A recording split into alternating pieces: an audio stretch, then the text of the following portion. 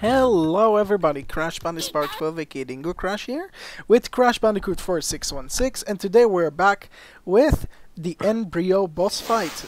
And um, this is... N. Brio sounds weird.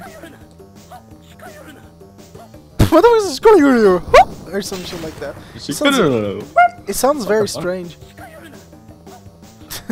She got a Sounds like he says Scooby Dooby Doo or some shit like that. No, whoa! Whoa, that was close! Whoa! Did you uh, did you go neat under it? I don't know, but that was really strange. Wow, that was uh, uh lucky. Wow! Wow! Wow! Doesn't Brio have like, doesn't Sorry. Brio actually have some extra hit in this version? Oh What? shit.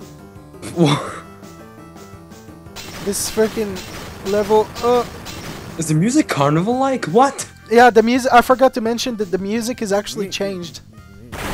Like a carnival music? What the fuck? What the fuck? It sounds very strange. What does he wear diapers or some shit? It's like all his whole body is massive and compared to He's his legs. upskirt. Wait, what?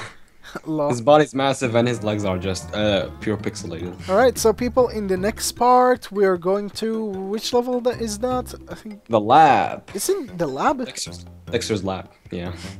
Alright, so thanks for watching everybody, and don't forget to leave a comment and a like, and uh, we shall see you in the next part, and don't forget to check out the updates channel. Uh, bye bye. Yep. See ya.